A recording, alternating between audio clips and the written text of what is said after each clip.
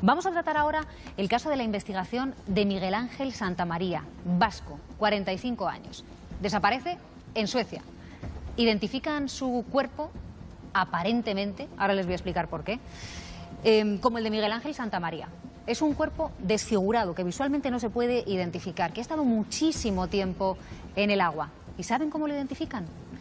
Con un documento que él llevaba, una fotocopia de un DNI que con todo el tiempo que ha pasado ese cuerpo en el agua aparece absolutamente seca.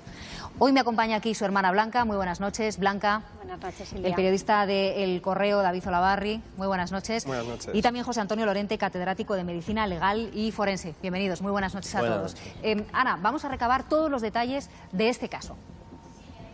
Como dices, de Miguel Ángel Martínez Santamaría se centra en tres puntos, en Bilbao, en Estocolmo y también en Londres. Vamos a empezar por el primero de ellos, por Bilbao, ahí lo ven, porque Miguel Ángel vivía en Algorta y de hecho pues reside toda su familia. Entre las pasiones de Miguel Ángel pues se encontraba el conducir, también ir a San Mamés a animar a su equipo del alma, el Athletic, y sobre todo viajar. De hecho, Miguel Ángel pues está viviendo durante unos años en eh, Londres con su novia que desgraciadamente ella pues fallece.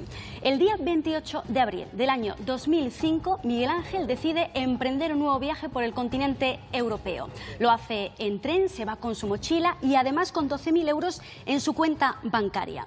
Cinco meses después, su familia recibe una impactante noticia y es que al parecer se ha encontrado el cuerpo sin vida supuestamente de Miguel Ángel flotando en aguas de un fiordo muy cerca de Estocolmo. Según la policía sueca, Miguel Ángel habría muerto ahogado en esas aguas tras arrojarse desde un ferry. Y de la persona que supuestamente encuentra este cuerpo, a quien se le atribuye el nombre de Sarah Adams, nunca más se supo. Es entonces cuando los primos de Miguel Ángel se trasladan hasta Estocolmo para hacer todas las gestiones y todos los trámites necesarios.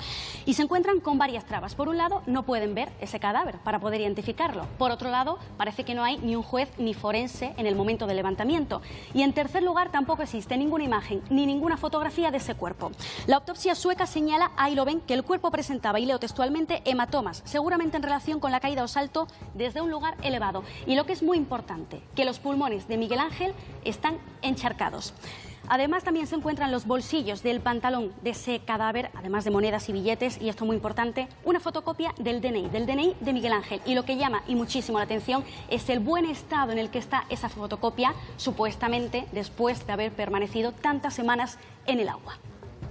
Blanca, una fotocopia de un DNI seco que supuestamente lleva con ese cuerpo tanto tiempo en el agua como todo ese cuerpo que aparece desfigurado. Sí. Después de, 13 a- de casi 13 años no sabemos la causa, ni las circunstancias, ni la forma de la muerte. Incluso no sabemos si el cadáver que hemos enterrado es mi hermano y sin embargo tenemos un documento, un papel que dicen que apareció en el agua en el bolsillo de su pantalón.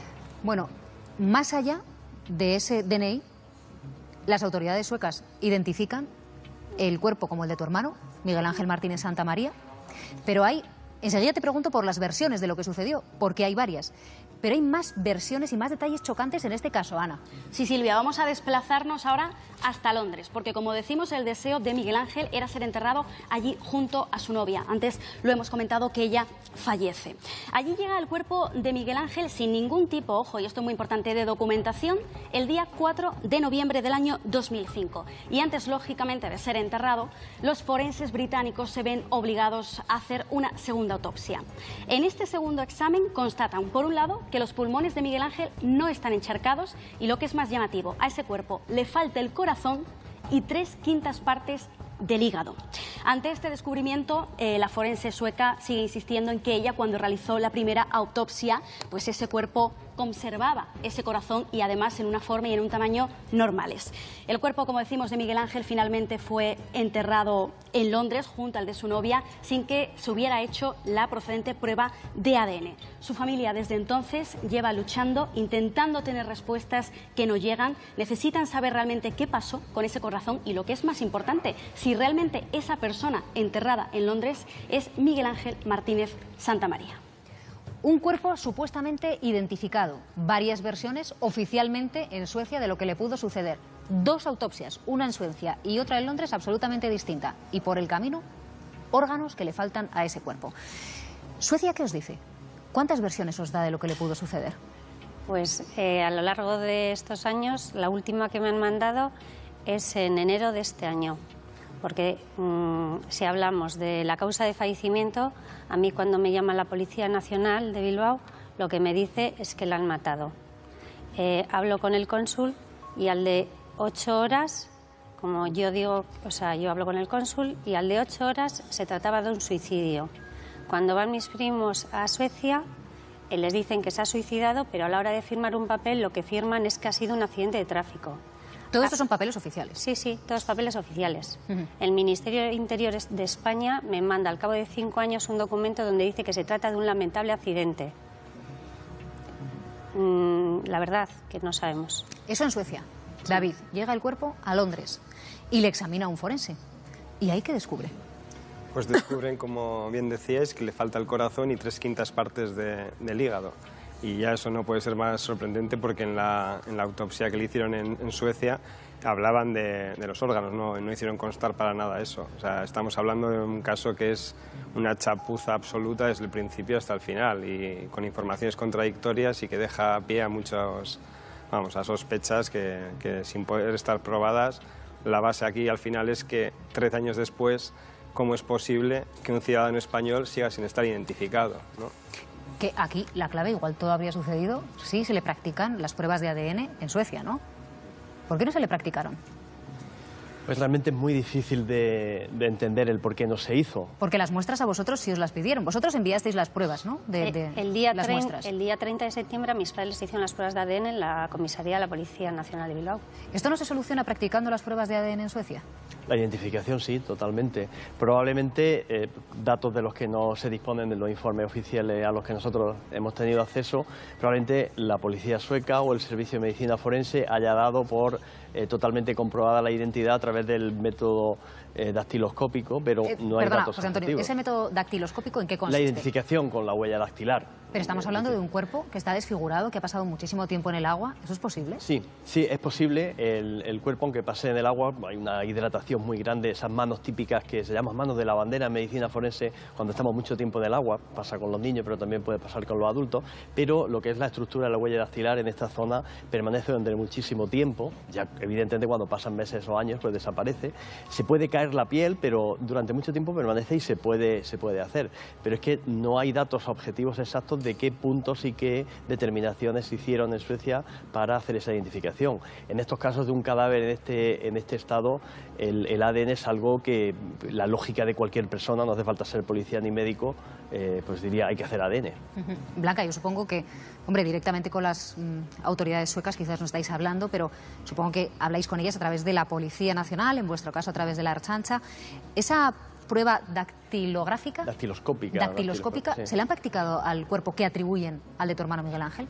Bueno, según, según ellos, sí, pero el tema es que este caso está desde hace cuatro años en la Audiencia Nacional, donde se pidió toda la documentación. Los propios suecos cuando tienen que entregar los documentos sobre la identificación a la Audiencia Nacional, dicen que se dan cuenta que no coincide nada. O sea, por ejemplo, hay en el libro de identificación de cadáveres eh, pone que fue identificado el día 27 de septiembre. Eh, luego, en otro documento pone que fue identificado el 4 de octubre. En otro documento pone que fue identificado el 10 de octubre. Entonces, y, bueno, y además de todo eso, lo que dice es que la Policía Nacional de Bilbao mandó eh, la huella dactilar del índice derecho y que fue identificado con el izquierdo. Entonces, al ver esta documentación, dicen que en agosto del 2014 hacen una nueva prueba de identificación. David, tú que has seguido muy de cerca este caso, cuando tú planteas todas estas dudas a las autoridades y dices, bueno, ¿con qué versión me quedo? ¿Cuál es la autopsia buena? ¿Qué te cuentan? Cuentan cada uno, yo creo que esto es un ejemplo muy claro de, lo, que, o sea, de, lo que te puede pasar si eres víctima en un país extranjero, ¿no? porque al final, eh, y también mal aconsejada Blanca no hizo público lo que le había pasado a su hermano hasta muchos años después. Entonces, yo creo que aquí ha habido una falta de interés absoluta. Todo el mundo echa balones fuera al final. ¿Pero por parte de quién, David? Pues las autoridades españolas, las autoridades, y ya estamos hablando de policía, eh, gobierno vasco, español, eh, instituciones, todo el mundo, embajada de Suecia también, bueno, eh, poca, Blanca te puedo decir de, de poca gente que realmente se haya interesado por un caso que es, que es tan complejo. Es que necesitaríamos casi dos horas para, para enumerar todas las chapuzas y las informaciones contradictorias que hay. Entonces yo creo que al final mi, mi, impresión en esto, porque no se sabe, o sea, no se sabe realmente lo que pasó, es que eh, nadie, quiere, nadie quiere cargarse con, con, con la responsabilidad de, de, lo que ha pasado aquí, ¿no? Uh -huh. Al final no deja de ser eh, que es increíble. O sea, ¿cómo puede ser que, que nadie haya acompañado a Blanca a, en, en todo este proceso? Que nadie la ha acompañado. Enseguida vamos a hablar de la carga añadida que supone para una familia que busca lo que supone buscar en el extranjero, cuando uno supongo que se siente más perdido, cuando tiene que invertir más dinero, cuando, como este caso, es que no entiende nada, nada del idioma. Pero antes, me gustaría plantearles la maraña legal en la que está inmersa este caso, como nos decía David. Desaparece Miguel Ángel, coge un tren, recorre Europa, desaparece en Suecia. Y estamos en medio de todo este embrollo con expertos que nos dicen que varias de las pruebas que se han realizado son una auténtica chapuza. Mis padres necesitan saber si la persona que hemos enterrado es mi hermano. No quieren morir sin saberlo. El cuerpo aparece flotando en el fiordo de Lidingö, cerca de un barrio de clase alta de Estocolmo. Fue trasladado a la morgue del Hospital Karolinska para ser enterrado como un sin nombre. El cadáver, según la policía de Estocolmo, aparece el 22 de septiembre del 2005 y a nosotros nos lo comunican siete días después. Primeramente era un homicidio y acaban hablando de un suicidio una enfermera de origen español en la morgue, miran en el bolsillo del pantalón y encuentran una fotocopia del DNI de mi hermano. No existen fotografías del cuerpo, no existen fotografías del levantamiento del cadáver, no hay ningún dato que diga que es mi hermano el muerto, solamente esta fotocopia que dicen haber encontrado en el bolsillo de su pantalón y que supuestamente ha permanecido en el agua aproximadamente mes y medio. La primera persona que me hizo caso fue Ferran Barber, periodista, y se fue a Suecia a investigar el caso tuve la oportunidad de hablar con la enfermera de origen español que identificó el cadáver de Miguel Ángel y esencialmente la historia que me contó fue que tuvo la, la intuición de que pudiera tratarse en español por su apariencia facial, por su, su fenotipo y eh, tuvo también el impulso de echar mano de, del bolsillo. La autopsia lo que viene a decir es hombre no identificado, posiblemente se trata de Miguel Ángel Martínez Santamaría. Posiblemente ha muerto ahogado, posiblemente se ha suicidado, posiblemente todo es posiblemente. Y lo que insinuaban es que Miguel Ángel podría haberse arrojado de, o bien desde un ferry o bien desde un, un, puente que hay en las proximidades de, de Lidingo. Miguel Ángel quería ser enterrado junto a su novia, fallecida en Londres, así que allí se envían sus restos. Cuando se cierra el féretro no hay nadie presente, nadie del consulado, cosa que creo que es ilegal. Al llegar, forenses británicos le practican otro examen y, estupefactos, descubren que al cuerpo le falta el corazón. La forense sueca lo que insinúa es que debido al tiempo transcurrido pudieron acabar eh, disolviéndose por culpa de la corrupción de los órganos hasta el punto de que al llegar a Londres no fueran visibles para el forense que realizó esta segunda autopsia. En Suecia he puesto dos denuncias, una por homicidio y tráfico de órganos en enero del 2014. La Fiscalía de la Audiencia Nacional ha pedido cuatro requerimientos a Londres para la sumación del cadáver y la respuesta ha sido el silencio. Necesitamos que se haga esa prueba de ADN, necesitamos saber si el cadáver que hemos enterrado es mi hermano, necesitamos saber qué ha pasado y necesitamos saber todas las circunstancias de su muerte. A ver, eh, vamos por partes. José Antonio, ¿es factible la hipótesis de que entre la autopsia que se practica este cuerpo en Suecia y la de Londres, los órganos se disuelvan? No, no es factible eh, por múltiples razones. Primero, por el tiempo transcurrido, pero segundo, porque cuando se traslada un cuerpo de un país a otro se efectúa una serie de maniobras de conservación. Quiero decir, al cuerpo se le añaden una serie de... Se produce un embalsamamiento, que es un término que más o menos todos conocemos, y que así lo describe el forense inglés cuando realiza la autopsia, la segunda autopsia, al eh, recibir el cuerpo en, en Londres por lo tanto no puede, puede desaparecer una parte, un poquito, pero un corazón, por ejemplo, que es un órgano especialmente eh, duro porque es músculo, es mucho más duro que, por ejemplo, el intestino, que sí está descrito que está presente, no desaparece. Es decir, o esos órganos no estaban ya en la primera eh, autopsia en Suecia, sí. o alguien tuvo que eliminarlos desde Suecia hasta que llegan a Londres. Sí, en la primera autopsia sí se describen en, en Suecia, eh, puede ser que mm, los enviasen a un laboratorio, que alguien los quitase, de, que no los pusiesen otra vez dentro del cadáver. Los órganos se sacan, se cortan, se pesan, se estudian con detalle y luego, si no se envían al laboratorio, una parte o completos, se deben de introducir dentro del cadáver. una chapuza absoluta, vamos a decirlo así, en esos términos que nos entendamos todos. Eh, David, ¿hay dudas de que en este caso podamos estar hablando realmente de una operación de tráfico de órganos? Dudas hay si- eh, partiendo de la base de que no se ha, no se ha aclarado qué ha pasado con esos órganos y, y lo que la última prueba que hay es que, no- que le faltan los órganos. Al final eh, eh, es la hipótesis que se, que se puede manejar siempre y cuando no se, no se aclara qué es lo que ha pasado. O sea, también puede ser lo que, lo que decía eh, el doctor, que, que hayan pasado otras mil cosas di- distintas. Incluso puede ser que no sea el mismo cuerpo. Es Pues- que más allá de eso, puede ser que no sea Miguel Ángel. Y para eso, la familia de Miguel Ángel ha pedido a la Audiencia Nacional ayuda, ha pedido que recupere esos restos que están en Londres y que les practique las eh, pruebas de ADN pertinentes. Ahora mismo, ¿en qué momento del proceso estamos, Blanca? Pues de momento en ninguno, porque... Te estabas eh, hablando con un juez en Londres. Sí, Mm. un, juez, un juez en Londres que en teoría se iba a interesar por el caso, me iba a decir algo, pero no me ha dicho nada. Y ¿Cuánto en- tiempo llevas esperando? Pues es que llevo casi desde verano. Yo fui en septiembre del año pasado, fui a, Estocolmo y fui a la comisaría, a la comisaría central de la policía de Estocolmo.